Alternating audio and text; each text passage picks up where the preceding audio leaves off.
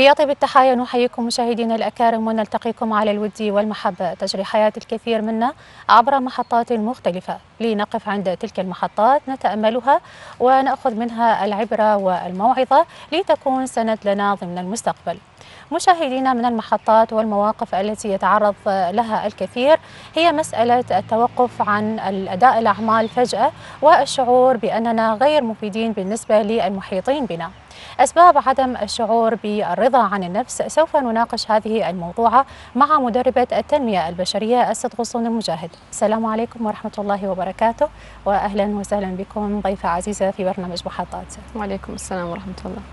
أستاذ غصون أحيانا نشعر بعدم الرضا عن أنفسنا رغم أننا نقوم بالكثير من الأعمال. سبب هذا الشعور المفاجئ اللي ينتابنا واللي في بعض الأحيان ممكن يخلينا ما نقدم يعني أعمالنا وما نقوم بالأعمال المناطة لنا أه وحدة من الأمور واللي أهمها أنه أنا ليش ما دا يعني ما دا أرضى عن الأعمال اللي دا أسويها؟ لأنه أنا ما أحبها. فوحدة من الأمور أنه إذا ما كان عندي رغبة بالعمل اللي أنا أسويه مهما قدمت به مهما حققت نجاحات أحس نفسي أنه أنا ما راضية. وبعد يحتاج أنه أقدم لأنه أنا ما عندي رغبة به وما احبه فكثرة أيضا هي كثرة الأعمال بالإضافة إنه ما عندي رغبة بها وحدة وحدة من الأسباب اللي تخليني إنه ما أكون راضية عن نفسي. بالإضافة لأنه آه إنه أكون ضمن توقعات الآخرين ضمن آه يعني دائما خلي بالي يم آه رأي الناس عني. نعم نشوف شلون يعني مثلا شلون هم الناس بالصورة الخارجيه بلي شلون شلون يحبون يشوفوني بأي صورة؟ نعم. إذا ما صرت بالصورة اللي هم حابيها فايضا ما راح أكون راضيه عن نفسي. نعم. طيب نلاحظ بعض الشخصيات عندهم رضا تام عن عن نفسهم على الرغم من إنه عندهم ممكن نقص ببعض الإمكانيات وبعض عندهم ممكن صفات سلبية ولكن طاقة الرضا عن النفس مرتفعة جدا. بينما أشخاص ممكن خلينا نقول إنه كل صفاتهم وإمكانياتهم جيدة ولكن هو ما راضي عن نفسه على الرغم من إنه ممكن يوصل إلى مراحل متقدمة بالعمل وبالاسره ولكن داخليا يشعر بعدم الرضا عن النفس. أتساءل عن هذا المصدر وهذا الشعور من أين استمد طاقة الرضا عن النفس؟ طاقة الرضا عن النفس أستمدها أول شيء من علاقتي بالله عز وجل نعم. طبعا هاي أول خطوة لأنه كل ما كانت علاقتي بالله عز وجل إنه يعني هذا الارتباط الروحي بعد هو الإنسان بأي بأي طريقة يشوف شلون يرتبط بالله عز وجل هذا الشيء يعني تابع له نعم. ولكن هي هذه أول نقطة وأهم نقطة اللي بعدها تجي هنا مدى دعمي لنفسي ومدى نظرتي لذاتي نعم. فهنا نابع من من داخل الإنسان فكل ما كان هو راضي عن نفسه من الداخل عنده فد فد نقاط يقدر من خلالها يحفز نفسه حتى يقد يقدم أكثر وينتج أكثر هنا هذا يعتبر هو الحافز اللي الداخلي اللي مم. نتحدث عنه فهذا جزء أو نقطة انه أنا أستمد من عندها الإيمان أو الدعم هذا أو هذه الطاقة نعم. الشيء الثاني اللي هو هذا ما مستمر يعني هذا آه الأول شيء اللي حكينا عنه ثابت أو بلي هذا ثابت نعم. ومستمر لأنه نعم. نابع من ذاتي أنا نعم. ولكن الآخر الثاني اللي هو أنا استمده من الآخرين نعم. هذا طبعا يكون وقتي أو وغير مستمر. لأن آراء الناس هي أساسا متغيرة. يعني, يعني ممكن أنا مثلا أواجه ناس يمدحوني ممكن أواجه ناس ينتقدوني. نعم أنا ممكن أكون إنه ما أسوي شيء إلا إذا أحد يقول يشجعني نعم. يحفزني أو قدمي وانتجي أو شنو الشيء اللي نعم. اللي حابين ممكن بالعكس. أي كلمة بسيطة تنتقدني ممكن بلي هذا الشخص ممكن موجود بحياتي. ممكن نعم. أكو شخص يدعمني ويمدني بالطاقة. جيد. ولكن هل هو مستمر؟ احتمال يعني إنه يبتعد أو أي ظرف يصير فما راح يكون دعمه مستمر نعم. وأكو أشخاص لا جزء أنا ما محاطة بهذا الإنسان يعني ما موجود إنه شخص يدعمني فإذا أنا معتمدة على هذا على مصدر الطاقة الخارجي ما راح أقدر أنتج أكثر لأنه مجرد ما يغيب هذا المصدر أو مثل ما ذكرتي حضرتك إنه يجي شخص يعكس بدل ما يدعمني هو شو يسوي؟ يذمني. نعم. ومثلا يسمعني فت كلمات تحبط من معنوياتي ومن نعم. وتضعف من ثقتي بنفسي وبالتالي أنا مرا يعني أكيد هذا يعتبر امتصاص للطاقة نعم. فما راح وهذا بالفعل يحدث بالكثير من المواقف. مثلا آه، دائما خلينا نضرب مثال الأم. دائما الأم بتربيتها بسعيها نحو الكمال بحيث أنه تقدم أفضل الأشياء لأبنائها. آه، وبالفعل ممكن تقوم بهذه المهام على حساب صحتها وعلى حساب آه، ممكن راحتها والأمور اللي تحبها فقط أنه تكون مخصصة هذا الجهد للأبناء. ممكن أنه تتعرض لضغط فممكن أنه يكون من عندها ساعة عصبية أو ممكن تضرب أبنائها وهي تعرف أنه هذا السلوك هو سلوك خاطئ فجأة تهتز عندها الصورة المثالية أنه تقول لك أنه أنا آه، لست أم مثالية أو بالصورة اللي أنا مثلا أكون آه، أو كنت عليها شلون أقدر أتعامل مع هذا الموقف؟ آه، هذا اللي إحنا نسميه بسقف التوقعات يعني أنا إنه توقعاتي اتجاه نفسي تكون عالية جدا فأسعى إنه أنا أكون حلو أنا أكون مثالية جيد. حلو إنه أنا أسعى أن أكون مثالية أو ما ما ما أقول كاملة لأنه الكمال لله عز وجل فقط نعم. فإحنا بما أنه بشر وغير معصومين فأكيد وارد جدا إنه أنا أقع في أخطاء وارد جدا إنه أنا أتحمل ضغط لفترة معينة وبعدين أوصل لمرحلة ما أقدر إنه نعم. أقاوم هذا الشيء فإذا ما كان عندي فد أساليب أتبعها حتى أخفف من هذه الضغوط اللي تصير وياي ما راح أقدر أكمل فبالتالي مثل ما ذكرتي حضرتك إنه هذه الأم كثره الضغوطات اللي تتعرض لها وما عندها فد وسيلة إنه تفرغ جزء من هذه الضغوطات.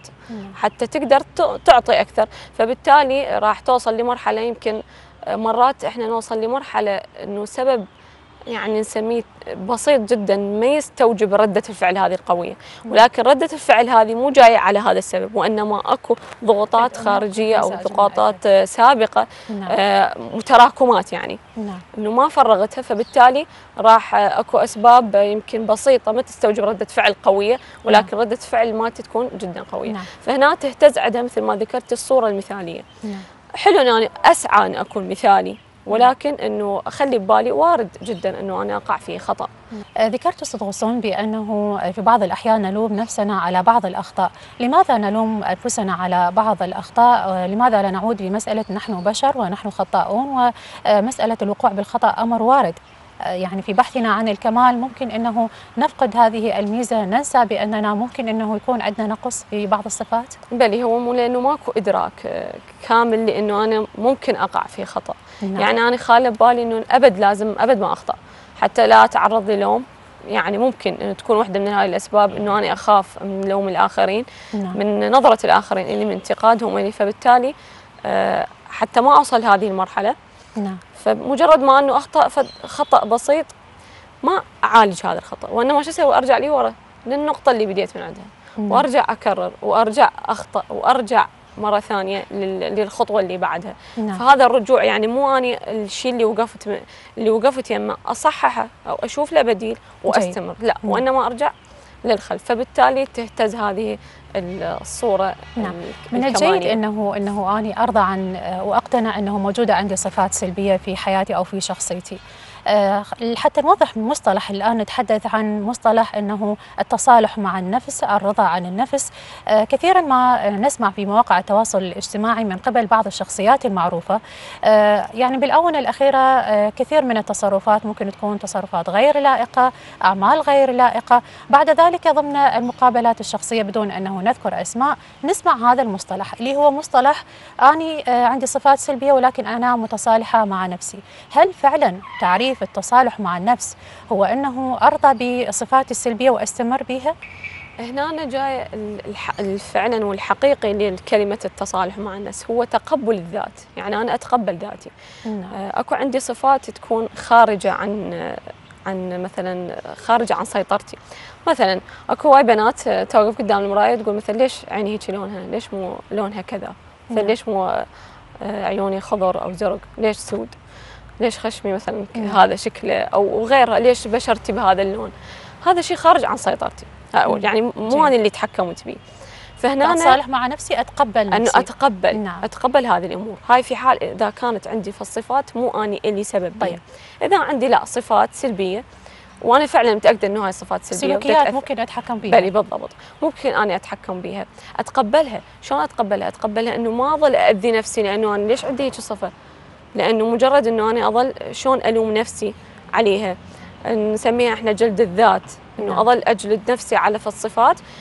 هذا الجلد ما راح يعطيني نتيجة لأنه أنا مجرد دا ألوم نفسي ودا أذي نفسي بدون أي محاولة لتصحيح هذا الأمر. نعم. فهنا هذا مو اسمه تقبل ذات ولا اسمه تصالح مع الذات لأنه أنا مجرد إنه دا, دا أشوف هذه السلبيات. لا أحاول أصححها نعم. أو دالوم نفسي عليها. نعم. المتصالح مع الذات أتقبلها إنه وارد آني لأنه بشر. نعم. فبالتالي يعني لازم نقول أستخدم هذا المصطلح بموضع غير صحيح. يعني ممكن إنه هو يرتكب أخطاء بعد ذلك يقول أنا متصالح مع ذاتي. متصالح هذا المصطلح أساسا يعني أكيد. لا ينطبق على بلي تلك بلي التصرفات مو ابقى على الأخطاء لا وإنما نعم. أحاول المفروض أصححها. مو استمر بها وأقول إنه أنا وخاصة إذا كانت هي مؤثرة على المجتمع. طيب. ذكرت قبل قليل أثناء حديثكم كمثال ضربتوه إنه شخصية ممكن يكون عندها تشوه خلقي أو مثلا عيب بشكل الخارجي. هذه المسألة مو هي مسألة ممكن صفات وممكن أنه أغيرها. ذكرتي أنه تقف هذه الشخصية أمام المرآة. نسمع كثيرا بأنه الحديث مع النفس وتشجيع النفس والوقوف أمام المرآة وأنه أنطق كلمات مشجعة لها تأثير نفسي. هل بالفعل هذه التجربة إذا أخذناها ممكن أنه تنفعنا نفسيا؟ أكيد فعلا هذه التجربة جدا ناجحة لأنه أنا دا أغذي نفسي بطاقة إيجابية. نعم. دا أحيط نفسي بكلمات أذكرها أنطقها ام فقط داخليا. اي طبعا. أحتاج أنه أتحدث بهذه الكلمات؟ أكو في الدراسة ثبتت إنه حتى النبات سووا تجربة على نب... على نبات اثنين. نعم. واحدة ما يعني كانوا بس يسقوها مي. والثانية كانوا ويا المي يعطوها كلمات إيجابية. إنه نعم. أنت حلوة بالضبط هذه الكلمات أو نعم. يشغلوا لها موسيقى. هذه النبتة النمو مالتها صار أسرع من هاي مع إنه هن مزروعات بنفس الوقت. نعم. فحتى النبات يتأثر بهذه الطاقة. نعم. فكيف ما أني إنسان شلون أتأثر نعم. بهذه الطاقة؟ وإذا كنت أني اللي يعني نابعة من ذاتي نعم. بحيث ما لها نفاذ مستمرة. فهذا الشيء جدا ضروري. ولكن ال ال الأشخاص يتحدثون مع ذاتهم بطريقتين. أكو بطريقة لوم الذات وأكو طريقة نقد الذات. نعم. المهمة هي نقد الذات. النقد إنه أنا أشوف الأمور الإيجابية وبنفس الوقت أشوف الأمور السلبية. نعم. أفرح بالأشياء الإيجابية وممكن إنه أعززها أكثر وأخليه إنه أكررها مرة ثانية في أي يعني عمل حابة أسويه نعم. والأشياء السلبية أحاول ألقى لها بدائل وأصححها جيد. بينما لوم الذات لا ما أشوف الإيجابيات بس السلبيات وهذا الشيء خاطئ لأن وين راح أوجه تركيزي على السلبيات يعني. بالضبط نعم. على فقط, فقط. الأشياء السلبية نعم. ما راح أشوف الإيجابيات بالتالي أكو ناس يحققون نجاح مثلا حققت نجاح صار إخفاق صار عندي نجاح ما يشوف لهاي النجاحات الثنين وإنما وين يركز؟ على السلبية أو الإخفاق اللي صار عنده. نعم فبالتالي ما راح يقدر يعني ما راح يرضى عن نفسه ما راح يحس نفسه إنه دا يسوي فد إنجاز. احسنت ودائما أشوف إنه أنا مالي فائدة. نعم. إنه أنا ليش موجود؟ ما دا أقدم شيء. بالرغم إنه هو محقق نجاحات في أماكن معينة. نعم. أحسنتم. اذا الحديث حقيقة حول هذا الموضوع شيق ومهم. إن شاء الله نستوفي محاور أخرى ولكن بعد فاصل قصير. اذا مشاهدينا كونوا معنا ولكن بعد هذا الفاصل.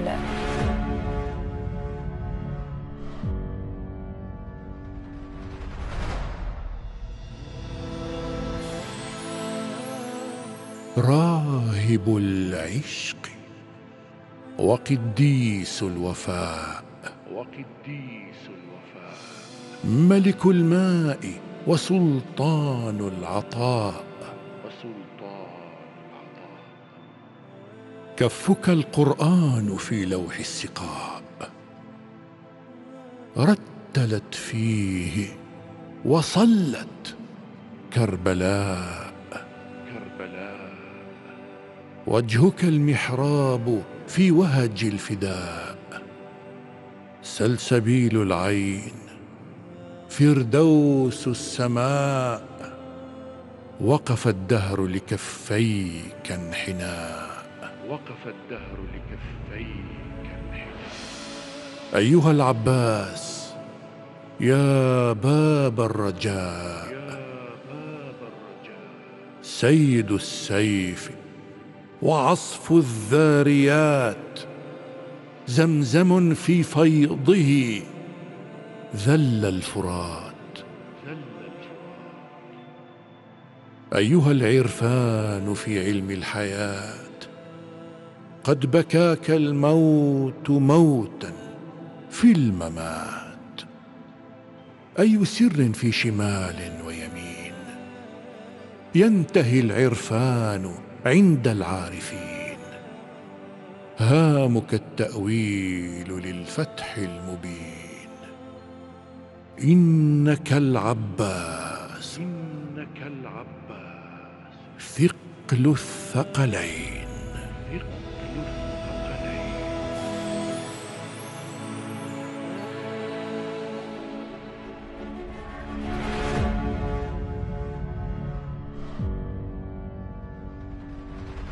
نحييكم مشاهدينا الأكارم من جديد ونعود وإياكم وبرنامج محطات وضيفتنا الفاضلة مدربة التنمية البشرية الست غصون المجاهد تحدثنا معكم قبل قليل حول مسائل عدم الرضا عن النفس وعن الذات ومسألة التصالح مع الذات لو أردنا أنه نتعرف على بعض الصفات التي يتمتع بها الشخص الذي يكون راضي عن نفسه وكذلك بالضد الشخصية غير المتصالحة مع نفسها كيف تكون الصفات الخارجية والسلوكية والنفسية؟ بلي آه، أول شيء راح يكون الشخص متصالح مع نفسه اللي هو يتقبل نفسه ويسعى إلى تصليح الأشياء اللي السلبيات اللي عنده نعم هذا الشخص يكون دائما مبتسم آه، يعني مو دائما دائما لأنه وارد إنه يصير عنده فد موقف معين أكيد إنه نعم. يعني يكون بها حزين أو غضب ولكن في الغالب هو إنسان مبتسم آه، ما ما يحاول يعكس آه، السلبيات ال-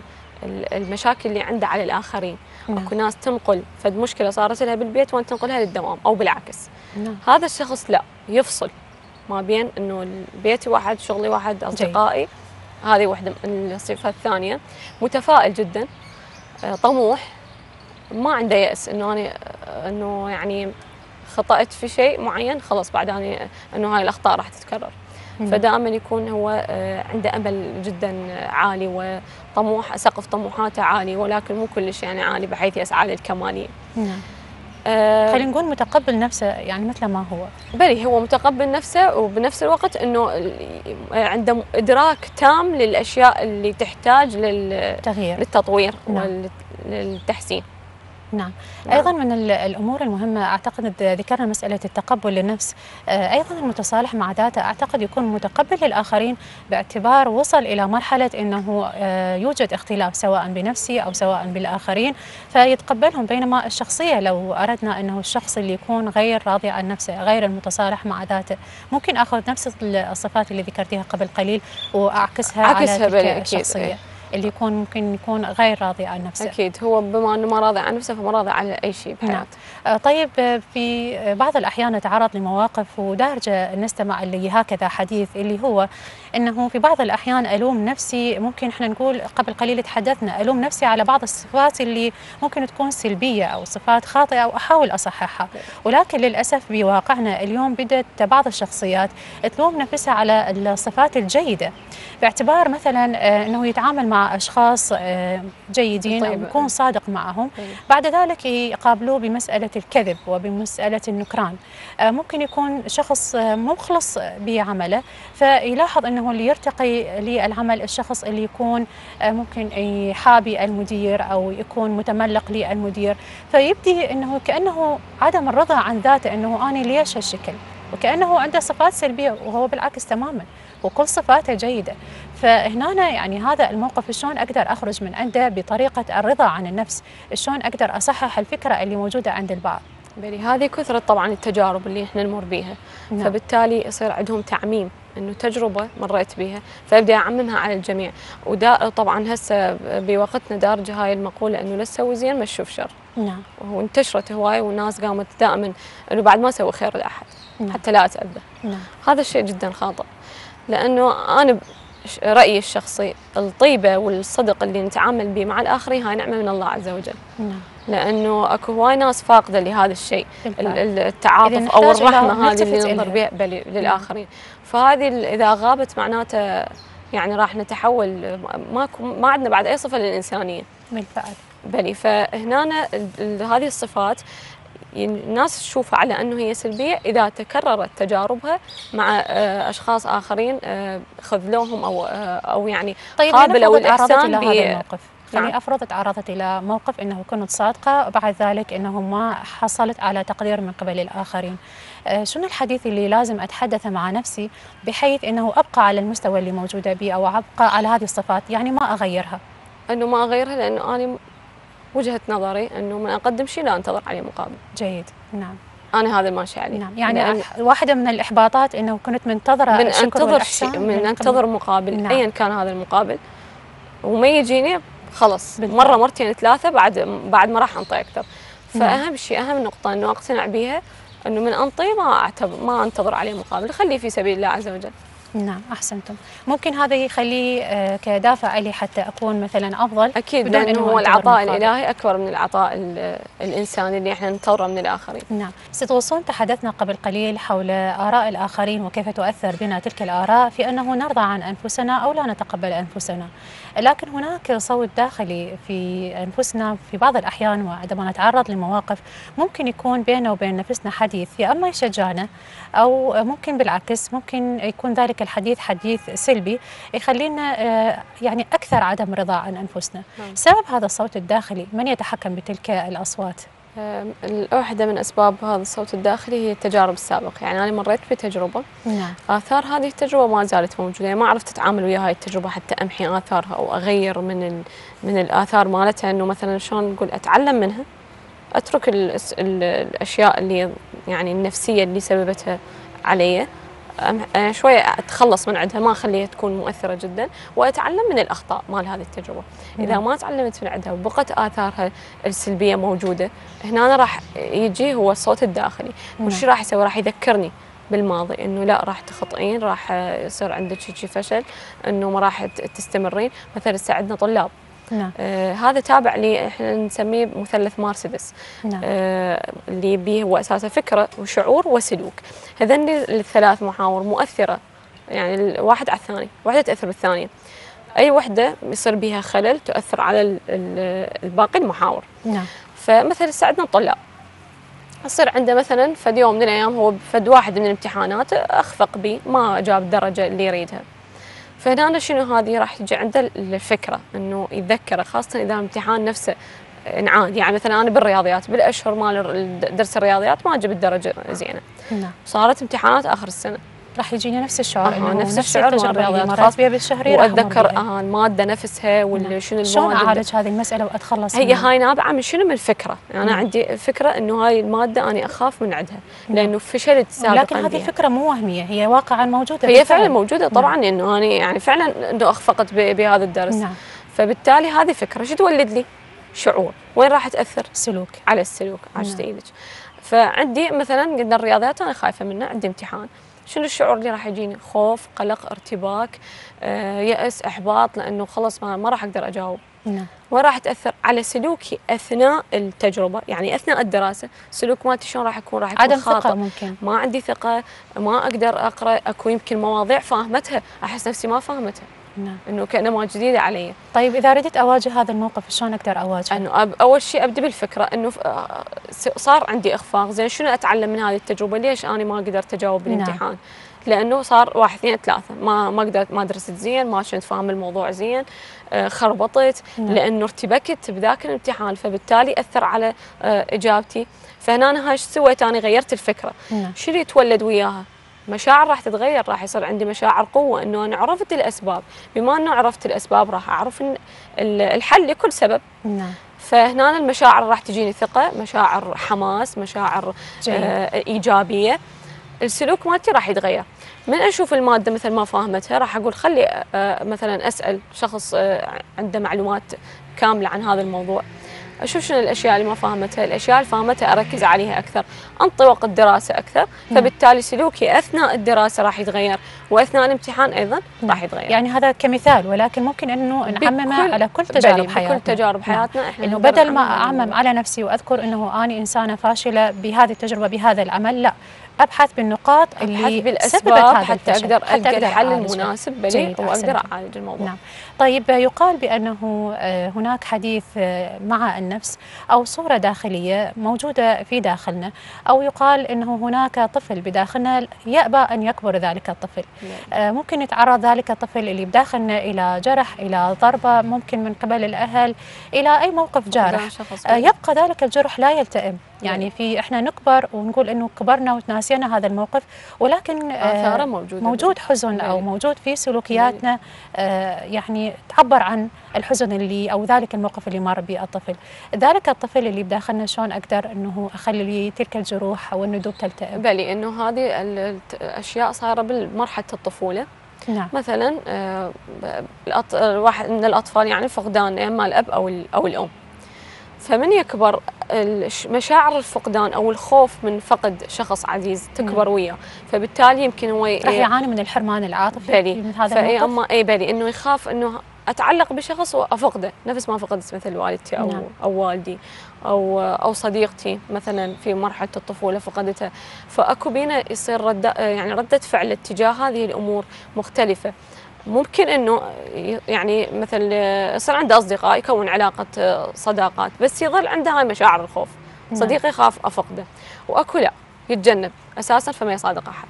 نعم. حتى لا أرجع عن واكو نفس مرات. يعني الآن تتحدثين في ذهني تمر بعض الشخصيات تتعلق بالصديقة إلى درجة جدا كبيرة ممكن تعتبرها هي مصدر الحنان تريد تعوض لأنه هي. عندها نقص في بهذا يعني مثل ما. ذكرتي الصداقة ممكن تتغير العمل ممكن يتغير أكيد فلما راح أفقدها الشخصية كلها راح كلها. راح تتأزم الوضعية كلها فأنا راح أتأذى راح نفسيتي تتعب تتحطم فبالتالي كل شيء ما راح أسوي بحياتي نعم. ما راح أقدر أستمر لأنه أنا متعلقة بهذا الإنسان وكل حياتي مع هذا الإنسان هو أعالج هذا الموقف بطريقة مبسطة. أتجنب يعني أتعلق بالاخرين إيه تمام بس مو التعلق الشديد لدرجة إنه إذا فقدته إنه حياتي تنتهي مع هذا الشخص. نعم أحسنتم.